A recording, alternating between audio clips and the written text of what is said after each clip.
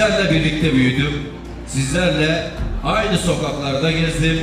Aynı duyguları paylaştım. Aynı havayı teneffüs ettim.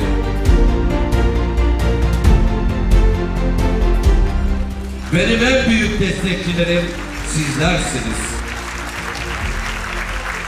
çok özel çabalarla, manevi duygularla ve üst düzey sahiplenen, sahiplenmelerle evlatlarımızı, bu çocuklarımızı sahiplenen, onlara eğitim veren bütün öğretmen arkadaşlarıma da canı gönülden teşekkür ediyorum.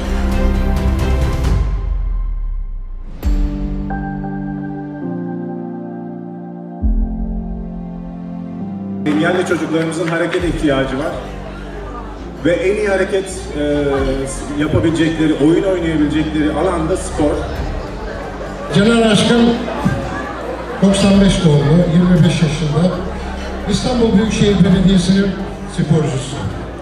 Ben Beytullah Eroğlu, Avrupa ve Dünya Yüzme Şampiyonu. Milli yüzücüyüm. E, uluslararası anlamda yarışlara katıldım. 2017 ve 2019 Dünya Şampiyonası'nda final yüzdüm. Küçükçekmece sadece sanatla, kültürle, sporla anılmasın. Eşitlikle anılsın. Kente saygıyla anılsın. Kentteki adaletle anılsın. Bunu mutlaka yapacağım. Çünkü benim en büyük yardımcılarım sizlersiniz.